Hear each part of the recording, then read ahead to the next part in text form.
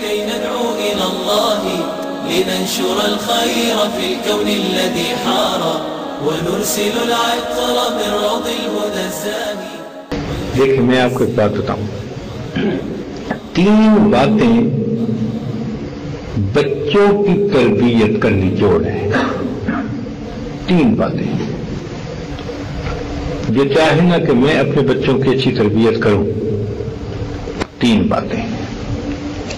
اگر ان تین باتوں کو اس نے کر لیا تو یوں سمجھ لے میں نے اپنے بچوں کی پوری تربیت کر دی۔ تین نقطے کی باتیں۔ ایک بات کہ بچوں سے یہ کہے کہ تم نے ہمیشہ سچ بولنا ہے۔ مجھے ہر غلطی گوارا ہے، جھوٹ گوارا نہیں۔ اس پہ بچوں کے ساتھ کوئی کمپرومائز نہیں ہے۔ ہر غلطی کو برداشت کر جائے، جھوٹ برداشت نہ کرے۔ کہ بچوں، ہمیشہ سچ بولنا ہے۔ نبی اسلام نے شاد فرمایا، مومن سب کچھ ہو سکتا ہے، مگر جھوٹا نہیں ہو سکتا۔ تو یہ سدھ کے مقال بڑی اہم بات ہے۔ لیکن آج کے دور میں ماں باپ بچوں کو یہ نصیحت کیسے کریں جب خود ان کے سامنے جھوٹ بولتے ہیں؟ تو بچوں کو نصیحت کیسے کریں گے؟ خود سچ بولیں گے تو بچوں سے وعدے لیں گے نا؟ یہ بڑی اہم بات ہے۔ اس لیے کہ غفلت والی زندگی کی ابتدا ہی جھوٹ سے ہوتی ہے۔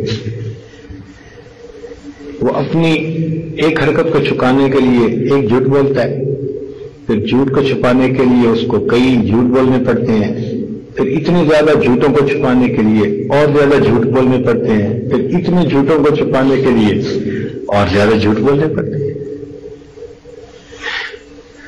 تو ایک نصیحت بچوں کو کیا کرے؟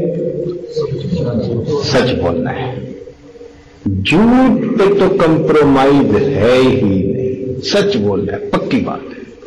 جو مرضی ہو جائے، حالات جو مرضی ہو مگر بچوں کو کہے کہ بیٹو سچ بول۔ ہزار خوف ہو، لیکن زباں ہو دل کی رفیق، یہی رہا ہے ازل سے کلندروں کا طریق ایک تو یہ نصیحت اور دوسری نصیحت، پانچ وقت کی نماز۔ اس پہ کوئی کمپرومائز نہیں۔ میں تھکا ہوا ہوں، میرا ہوم ورک زیادہ ہے، مجھے رات کو نیند نہیں آئی تھی، میں فجر میں جاگ نہ سکا۔ نہ نہ۔ کچھ قابل قبول نہیں۔ بڑا نقصان بچہ کر دے، برداشت کریں گے۔ لیکن پانچ نمازوں میں اگر وہ سستی کرے یہ بات قطعا قابل قبول نہیں۔ اس کا ایک تو ہے نا دینی فائدہ کہ صلحہ کے چہرے کا نور آئے گا اور اس کے اندر برکتیں آئیں گی۔ ایک فائدہ یہ بھی ہے کہ پانچ وقت کی نمازوں سے اس کی زندگی کی ترتیب سمجھ جائے گی۔ اس میں ٹائم کی پابندی آ جائے گی۔ جب نمازوں کی پابندی نہیں ہوتی، پھر ٹائم کی بھی بربادی ہوتی۔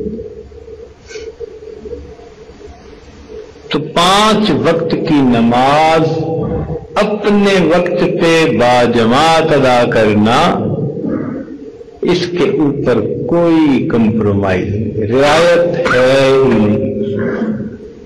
اور اگر تکبیر اولا ہو تو سبحان اللہ، پھر کیا ہی بات ہے؟ نور نلا نور ہے۔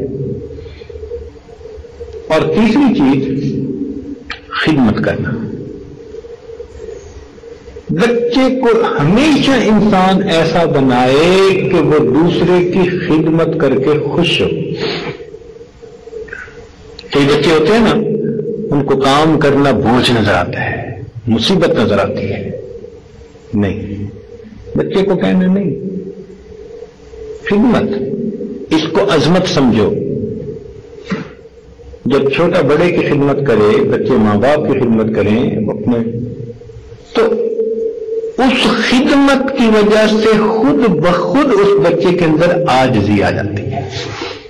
عجب اور تکبر کی جڑ کٹ جاتی ہے، جس بچے نے خدمت کرنے کا کام اپنے ذمہ لے لیا۔ تو یہ تین باتیں یوں سمجھ لیں کہ پوری زندگی کی تربیت کا نچوڑ۔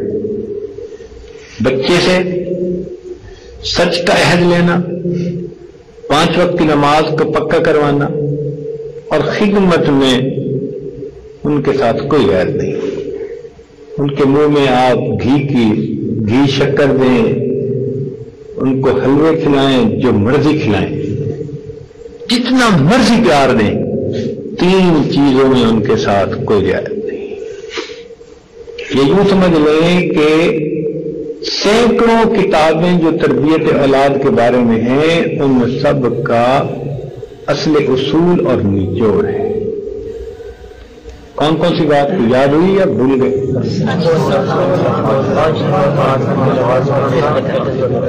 سچ بولنا؟